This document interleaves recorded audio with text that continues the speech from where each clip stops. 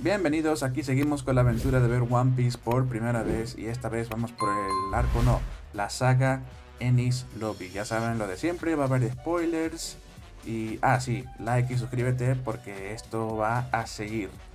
Ok, vemos por primera vez a un almirante llamado Aokiji.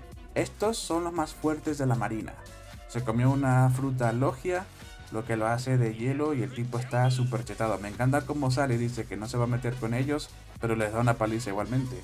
Eh, aún así, sospecho que este Aokiji podría ser un futuro aliado. Hay escenas ahí de diálogo con él y Nico Robin mm, que me hacen sospechar. Y cuando vemos el flashback, por supuesto trágico también, de Nico Robin, él también sale ahí y es un personaje clave. El patrón de buscar a un nuevo Nakama, esta vez un carpintero, continúa y vamos a Water 7. Una vez más, Oda intenta ser el rey del world building y vemos una ciudad enorme y magnífica, estilo Venecia, pero con esteroides, que quedó muy bonita y muy épica, la verdad. Rápidamente pasa lo de siempre, y entre la confusión unos matones le dan una paliza a Usopp por débil y por inútil. Intentan recrear el momento de la caminata a Arlon Park pero no queda tan bien. O sea, me gustó más en Arlon Park.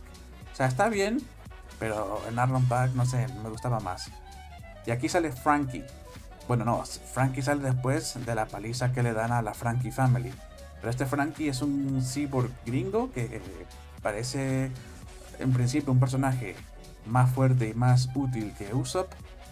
Y este personaje es el que acaba luego construyendo un nuevo barco para ellos, que está guapísimo, por cierto. El Thousand Sony creo que se llama y acaba siendo el compañero nuevo, si se veía venir en cuanto sale. Eh, a ver, estoy hateando a Usopp, quizás más fuerte de lo, de lo usual, porque en este arco se ha puesto especialmente cabezadura con el tema del Going Merry. O sea, yo celebré cuando lo echaron de la tripulación. Eh, y no es cosa mía. Eh, Roronoa está de acuerdo conmigo, opina como yo. ¿Ok? El punto más bajo de los Mugiwara en toda la serie creo que llega en este arco.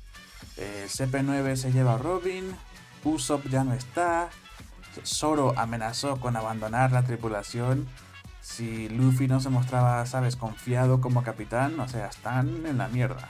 O sea, me, está gustando bien. Este, este drama me está gustando. Una vez más se nos presentan un montón de personajes como Setup, cuyo payoff veremos en el próximo arco de Ennis Lobby. Gente como los carpinteros de Water 7 que son súper profesionales que parecen muy amigables y tal, hasta que se revela que son asesinos del gobierno usando a Nico Robin y siendo en general unos completos cabrones, que están buscando la Plutón, que es otra arma de estas estilo Oppenheimer, que están ligadas a los Poneglyph, lo de siempre, ¿ok? ¿Vale? Lo de siempre. Pasemos a Ennis Lobby. En este arco por fin cambia el patrón un poco, y esta vez son los Mugiwara los que van directos a buscarse problemas con el CP9 e incluso con el gobierno mundial con tal de salvar a Nico Robin. No me convenció, o sea, el nivel de lealtad que le tienen con el poco tiempo que lleva ella de compañera, pero bueno, el poder de la amistad supongo.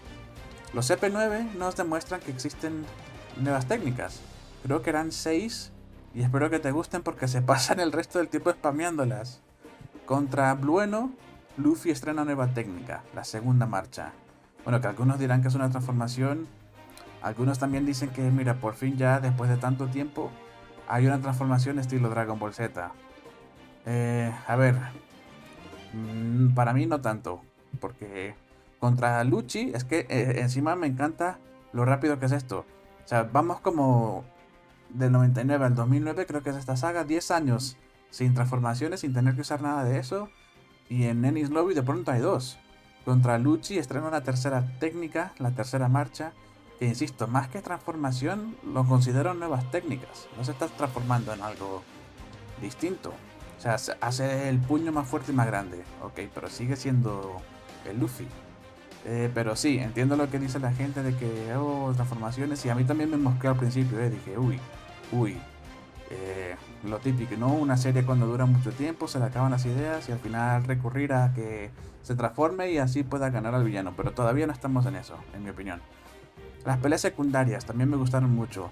Eh, estoy seguro de que hay una regla 34 en internet con Nami y su lucha contra la, ay, la gente esta que, que se desnuda y se pone a bañarse en mitad de la pelea. No me, no me acuerdo el nombre. Sanji también me estrena técnica nueva que tiene esa frase cuando le gana al CP9 este del hombre lobo. Dios creó la comida y el diablo las especias. Creo que te puse mucho picante. O sea, me, encantó esa frase al final de su pelea. Ah, bueno, y no olvidemos al Chopper Monster. Chopper Monster es una bestia, me encantó el diseño. Eh, cuando necesitas ganar, sí o sí, sácate al, al Chopper Monster. Punto fuerte motivo llega cuando Robin admite que quiere vivir y seguir con la tripulación. Sabe que ella para protegerlos estaba todo el rato en plan, déjenme morir, me quiero morir, estoy súper deprimida. Y ya cuando por fin Luffy consigue, mmm, no sé, romper esa barrera, ese es el punto alto, ese es el punto épico de esta saga, el, punto icónico, mejor dicho. Ah, bueno, y también revelaciones muy importantes, unos giros que me gustaron. Por ejemplo, Dragon, el que salió en Lowtown, es el padre de Luffy. Oh my god. Y no solo eso, Garp es el abuelo de Luffy. Así que bueno, está todo conectado. Mm, a ver, ¿qué es lo que no me gustó? Ah, bueno, por supuesto nadie muere. Es que ni siquiera es Pandam. O sea, el malo más mierda, el más asqueroso, ni siquiera ese lo pueden matar. Nico Robin, o sea, muestran cómo le rompe la espalda, pero, pero no muere, ok. Y a ver, ¿con qué acabamos? Ah, bueno, Ace peleando contra Barba Negra por un tema de venganza. Y acaba con un cliffhanger para una futura saga. Ok, Ace está bastante roto, me gustan sus poderes. Y este es el hermano de Luffy, por cierto. Se me olvidó, se me hablar de él en la saga de Arabasta, que fue cuando salió. Pero bueno, eh, muy buen arco. Me pareció épico, me gustaron las peleas, me gustó el conflicto. Cada vez va a más. Se está poniendo cada vez mejor, eso me gusta. Espero que siga así. Usopp se redime y pide perdón y vuelve a la tripulación y todos contentos. Eh, ah, no me gustó nada eso, la verdad. Yo, yo, aquí todo contento, en plan, vamos a perder a uno, pero tenemos a Frankie, que Frankie es carpintero, tiene un montón de buenos poderes. Es el que tenía los planes, ¿no? Del del Plutón. ¿Y qué hizo? Los, los, quemó. Los quemó antes de que el gobierno lo pueda tener en sus manos. Y la verdad es que Fruki, uy, Fruki. Frankie ha sido MVP. Ah, ¿qué más hizo? Eh, fue el que salvó el día eh, con lo de Chopper Monster. O sea, le ganó a Chopper Monster y luego salvó a Chopper del agua. O sea, nada, está mil veces mejor Frankie. Sí, lo lamento por los fans de Usopp. Ya sé que soy muy hater, pero bueno, eh, creo que no son, creo que no es una opinión polémica la mía o minoritaria sobre Usopp. Pues nada, gente, el, el próximo es Thriller Bark, así que nos vemos ahí.